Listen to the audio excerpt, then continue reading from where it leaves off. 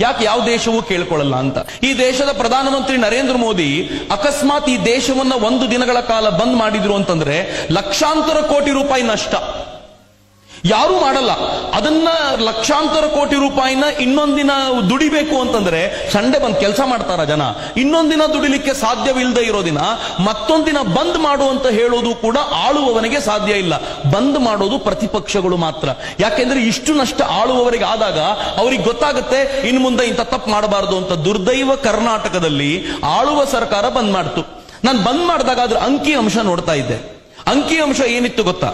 ಕರ್ನಾಟಕದಲ್ಲಿ ವಿಶೇಷವಾಗಿ ಬೆಂಗಳೂರಿನಲ್ಲಿ ಒಂದು ದಿನ ಸಾರಿಗೆ ವ್ಯವಸ್ಥೆ ಬಂದಾದರೆ ಬೊಕ್ಕಸಕ್ಕೆ ಆಗುವ ನಷ್ಟ ನಾಲ್ಕು ಕೋಟಿ ರೂಪಾಯಿ. ಕರ್ನಾಟಕದಲ್ಲಿ ನನ್ನ ರಿಪೋರ್ಟ್ ಅಲ್ಲ ಇದು ಎಫ್ ಕೆ ಸಿ ಸಿ ಅದು ಹೇಳುತ್ತೆ, ಬೆಂಗಳೂರು ಒಂದರಲ್ಲೇ ಒಂದು ದಿನಗಳ ಕಾಲ ಸಣ್ಣ ಉದ್ಯಮದಾರರು ಏನಾದರೂ ಕೆಲಸ ನಿಲ್ಲಿಸಿದ್ರೆ, ಫ್ಯಾಕ್ಟರಿಗಳು ಶಟ್ ಡೌನ್ ಮಾಡಿದರೆ ಒಂದು ದಿನಕ್ಕಾಗುವ ನಷ್ಟ ಎಷ್ಟು ಗೊತ್ತಾ? ಎರಡು ಸಾವಿರ ಕೋಟಿ ರೂಪಾಯಿ. ಇಡೀ ರಾಜ್ಯ ಒಂದು ದಿನ ಬಂದ್ ಆಗಿದ್ರಿಂದ ಡೆಕನ್ ಕ್ರಾನಿಕಲ್ ಅನ್ನೋ ಪತ್ರಿಕೆ ವಿತ್ ಡೀಟೇಲ್ ರಿಪೋರ್ಟ್ ಮಾಡಿದೆ. ಒಂದು ದಿನ ಕರ್ನಾಟಕ ರಾಜ್ಯ ಬಂದಿಗೆ ಹೋಗೋದ್ರಿಂದ ಕರ್ನಾಟಕ ರಾಜ್ಯಕ್ಕಾಗುವ ನಷ್ಟ ಇಪ್ಪತ್ನಾಲ್ಕು ಸಾವಿರ ಕೋಟಿ ರೂಪಾಯಿ.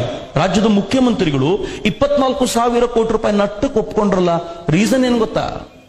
ಇಷ್ಟು ಸಿಲ್ಲಿ ರೀಸನ್ ಪ್ರತಿಪಕ್ಷದ ರಾಷ್ಟ್ರೀಯ ಅಧ್ಯಕ್ಷರು ಬರ್ತಿದ್ದಾರೆ, ಅವರಿಗೆ ಸರಿಯಾಗಿ ಗೊತ್ತಾಗಬೇಕು ಅನ್ನೋ ಕಾರಣಕ್ಕೋಸ್ಕರ ರಾಜ್ಯದ ಆಳುವ ಪಕ್ಷ ತನ್ನದೇ ರಾಜ್ಯವನ್ನ ಬಂದ್ಗೆ ತೆಗೆದುಕೊಂಡು ಹೋಗಿರುವಂತ ರೆಕಾರ್ಡು ನನಗೆ ಗೊತ್ತಿರುವಂತೆ ಜಗತ್ನಲ್ಲಿ ಮತ್ತೊಂದಿಲ್ಲ. ವರ್ಲ್ಡ್ ರೆಕಾರ್ಡ್ ಸಿದ್ದರಾಮಯ್ಯನವರು.